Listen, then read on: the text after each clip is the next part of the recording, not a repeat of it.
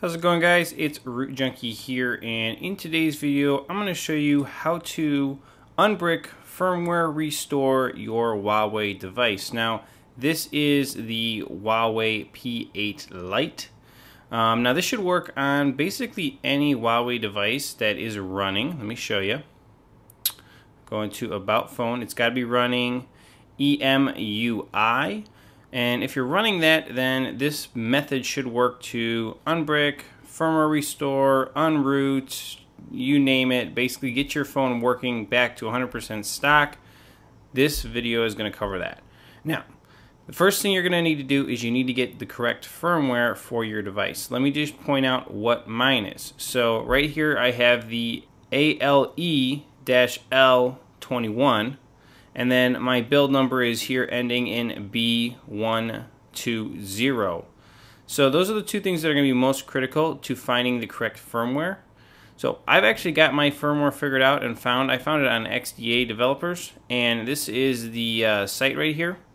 So you basically come down here and you find the one that matches your build number. There it is right there for me and you hit the download link. You can also get these from Huawei and I'll give you a link to that site as well. So you should be able to hopefully find your specific firmware for your specific device. But these steps are going to work the same on pretty much any Huawei device that has EMUI running on it. So from here, what we're going to do is uh, swipe down. Right here you can see I've already downloaded that uh, zip, which is the firmware, and you're going to open it up. Now you're going to need a SD card. This is very, very important. You have to have one for this to function because you have to be able to put these firmware files on to your SD card.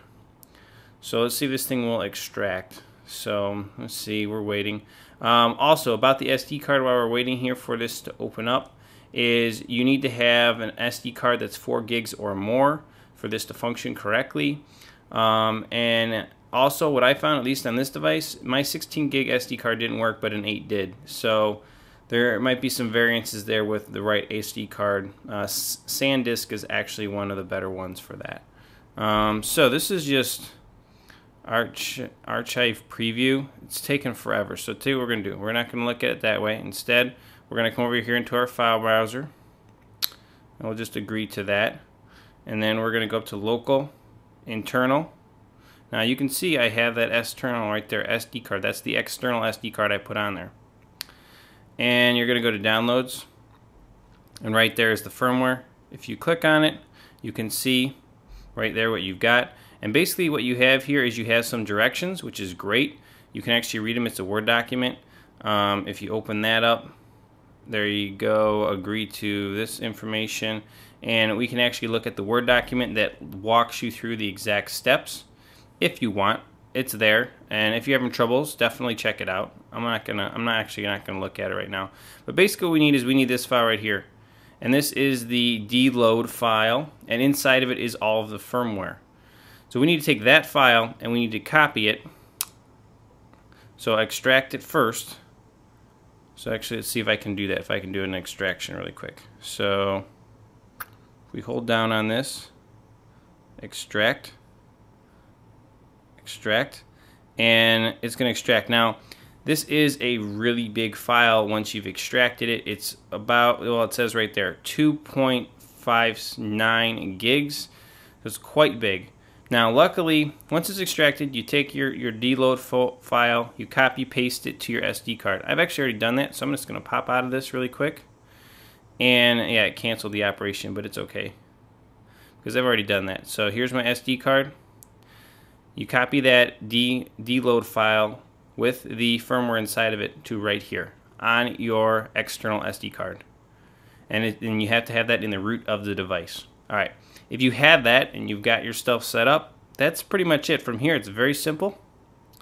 First thing you got to do is go ahead and power off the device. Mine is the Huawei P8 Lite, like I said, and power it off. And what happens is you're just going to boot into a recovery mode that's going to automatically start flashing the firmware restore. Now, I didn't show you this, but this device was rooted, and you saw a little bit of customization, wallpaper was changed, and things like that.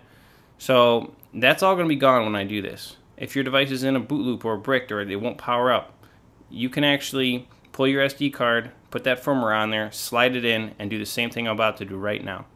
So what we're going to do is we're going to take our volume up and down buttons right here.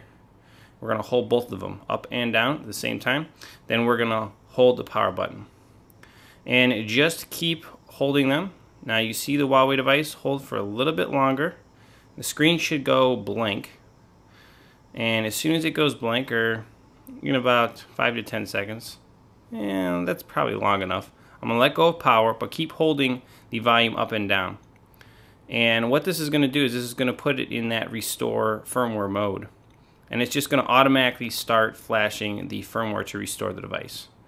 Keep, keep holding them. It's not going to hurt anything to hold them. There you go, right there.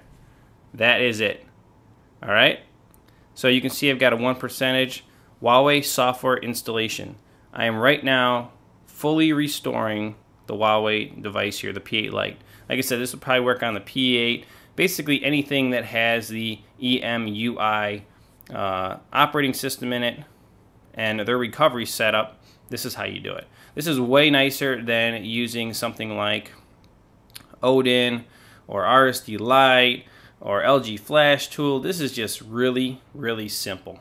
And I'm definitely liking it. So guys, from here, it's time to do a little speed up, sit back, and watch your device restore. Let's do it.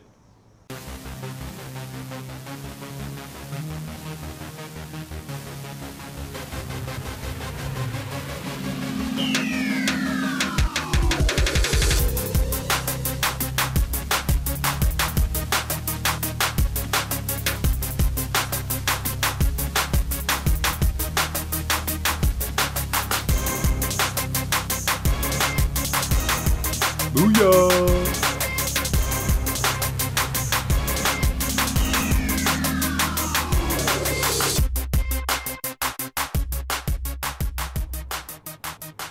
All right, here we go.